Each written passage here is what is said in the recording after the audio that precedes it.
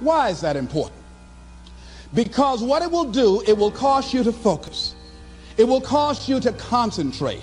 When that other conversation is going on telling you what you cannot do, telling you all of the impossibilities and all of the obstacles, your concentrating will begin to create a larger vision within yourself and you'll start looking for and seeing some new opportunities. You start creating some openings for yourself. As you begin to read that every day, every day, day in and day out, that will make you focus. That will discipline your thinking. And you'll get all kind of creative ideas. As I talk to you right now, being involved in this immersion process, you're going to create some openings for yourself.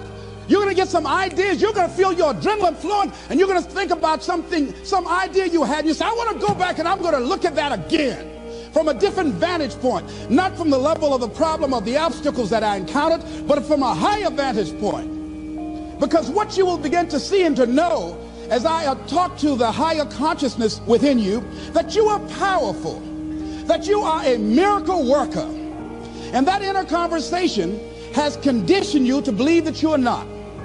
And as you begin to discover the truth of who you are, whatever challenge that you're facing in life, and if you're living, you're facing some challenge, you'll begin to know that you're powerful and that you're a miracle maker. So as you begin to write down exactly what it is that you want, read it every day. The next thing is see yourself there how will you feel once you get there?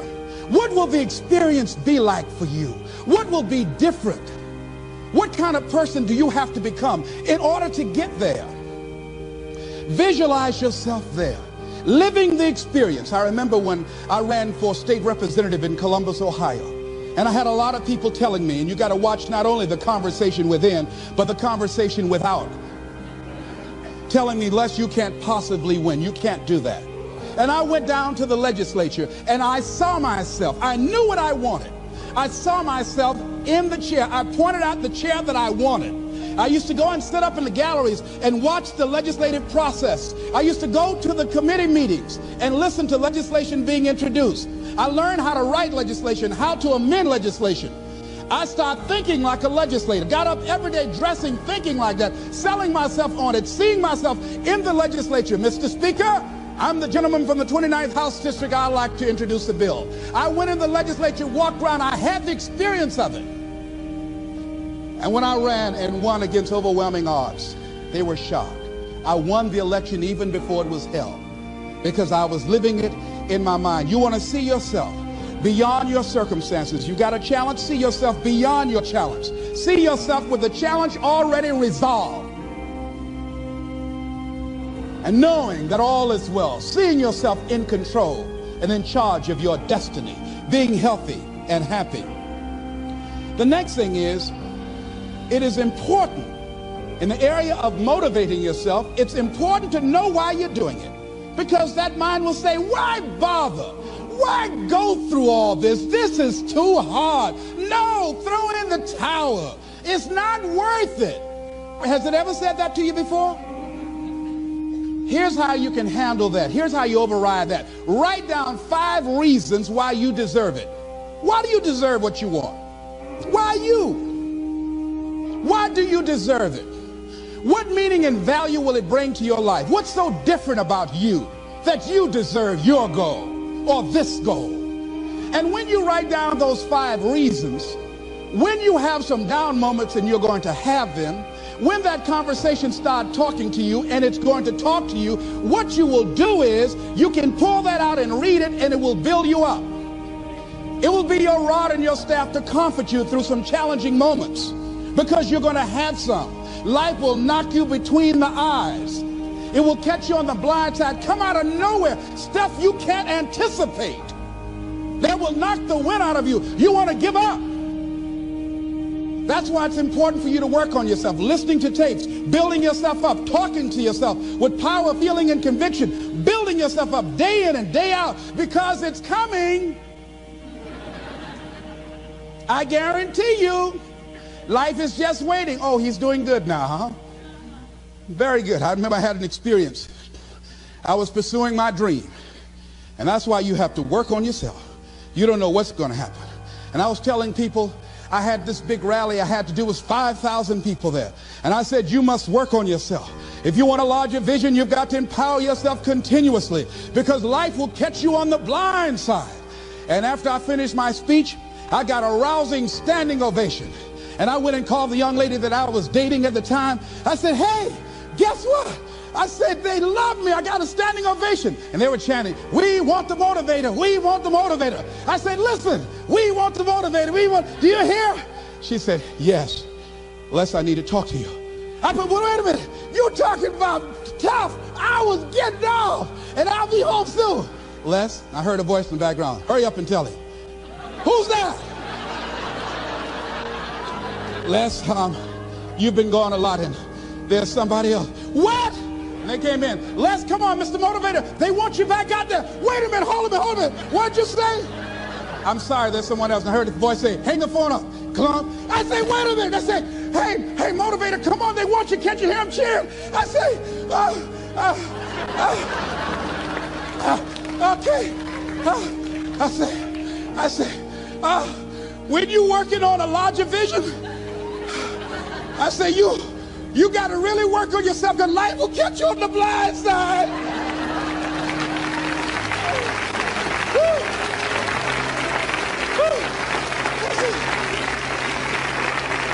I say you better be ready. You better make sure you want it because it'll make you cry. And somebody said the spirit is on him. Thank you, thank you, thank you, thank you. I was talking till they started blinking the lights. They had to come pull me off, and I said, you got to have a larger vision. You make sure, wait a minute, you make sure you work on yourself. They said, come on, Mr. Brown, come on. Yeah. I went back to my hotel room, and loneliness and heartbreak was sitting on the bed, said, are you coming in now? Do you have your larger vision now? How's your positive attitude? Say, get on in here. Are you still breathing? Shut, shut up. You want your gold? No, I don't want this gold now. Life will wear you out. You'll be saying, no, I can't, and no, I won't. you try to read it, can't see nothing through the tears. I went plundering through the drawers in this hotel trying to find a Gideon Bible, anything, you know. I said, somebody, anybody help me. Yahweh, Yahoo, anybody. Boy, I tell you, that's why you got to work on yourself. Because life will send you some curves you cannot anticipate. The next thing is that whatever you do, you want to develop technical mastery. You want to be the best at what you do. You want to master it. See, part of, of, of self-motivation is you've got to find something that gives you a strong sense of competence. Well, you become known for that. You develop a reputation of being good at doing that. You set some high personal standards for yourself. You're not competing with anybody else. You're just unfolding yourself to be the best person that you could be. That you want to give the best quality service that you can give because that is a statement about who you are. The other thing that's the key to self-motivation is recognize the fact that you're going to get into some slumps recognize the fact that you're going to encounter a great deal of failure in life. It goes with the territory. But in the face of that, you want to be relentless. When you want something, you don't expect everybody to say, oh, come on in. We've been, oh, you want this? Oh, great. We want to give this to you. You're such a nice person. You're doing it for your family, aren't you? Great. No, no, life isn't like that. No, many doors will be closed in your face many loans that you will want. And they say, no, you don't have enough collateral. You don't have enough credit. And most people will give up. But you've got to decide that I'm going to be fearless. I refuse to be denied. And I'm going to go all out. I'm going to be relentless. I don't care how many no's I encounter. I like something Isiah Thomas said when he's getting ready for a basketball game. He said, I'm going to either shoot us in or shoot us out but I'm not going to not do anything. And that's the way to go. You can't make a basket unless you shoot the ball. You can't hit a home run unless you take a swing at it. Most people won't even take a swing. Well, I probably won't make it anyhow. That's the conversation within. They probably won't give it to me anyhow. If you want something, you've got to be relentless. You've got to decide, I deserve this, and I'm going to have it. And you go all out to get it. That drives you. The next thing is that when you want something out of life, you've got to be willing to go into action. Don't wait around for things to be just right. Don't wait for things to be perfect. Don't wait for the ideal situation. It will never be ideal. There will always be a reason. Well, as soon as the children grow up, as soon as I pay my bills, as soon as I get my divorce, all kinds, as soon as I get enough money together, do what you can where you are with what you have and never be satisfied. A lot of people never take a chance in life. They don't want to take any chances. They want the situation to be ideal. See, that's not walking by faith. That's walking by sight. If I can see it, I'll do it. No, no, no, no. That's a lot of people say, if I can see it, I'll believe it. No, no, no, no. If you believe it, you can see it.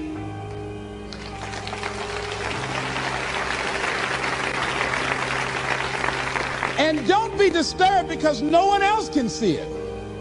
That's not unusual. That is ordinary. But because you want some different kind of results in your life, you've got to be willing to be unreasonable. If you want unreasonable results in your life, you've got to be willing to be unreasonable. Part of being unreasonable, you don't judge according to appearances. Part of being unreasonable, you can see it because you believe it. That's part of being unreasonable. Part of being unreasonable, you're like Paul who said, you must have the faith to call forth those things that be not as though they were. That's part of being unreasonable. Most people won't do that. Most people say, call me when you get it together. then I'll support you. the other thing is that one of the keys to self-motivation that empowers you is that you want to find a cause larger than yourself. Find something that you can contribute to. Find something that you can make a difference because you can. Part of what feeds your larger vision, part of what gives you a reason for being, part of what gives you your life is being able to give something back. Say, I can't afford to give anything. You can't afford not to give. Give your time. Give your talent. It's nothing just to go over and lick envelopes. I don't know exactly what I'm going to do, but I'm going over there. It's part of my tithing in the universe. Once you develop that, that special sense of mission, and that's what you develop when you're part of a larger cause than yourself, it drives you. You don't need an alarm clock to get up in the morning.